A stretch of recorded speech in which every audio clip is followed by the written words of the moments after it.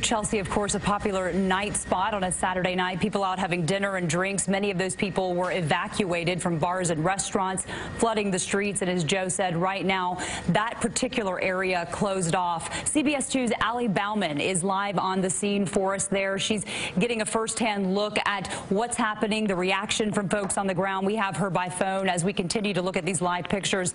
Ali, what are you hearing from people who are there? Well, we're waiting for the press conference to start any minute right now. It's obviously a very hectic scene. People here are just confused. They're scared. Right now, where we are waiting for the press conference to start, a very heavy media presence. It's so tightly packed. I, I can't even be in front of the camera as we wait for the uh, NYPD to, to brief us on what's been going on here. Currently, 23rd Street shut down from where we are on 5th Avenue all the way to 8th Avenue.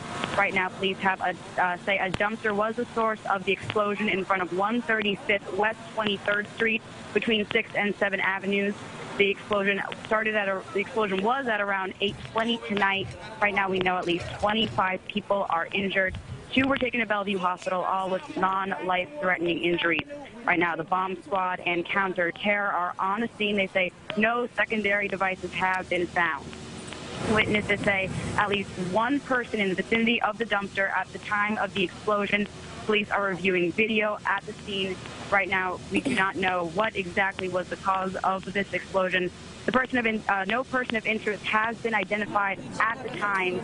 It's still not confirmed whether this device was intentionally placed at all. And again, as I said, people here being evacuated, not being able to get home. They're confused. They're scared. We talked to some people that were here at the time. Take a listen to that.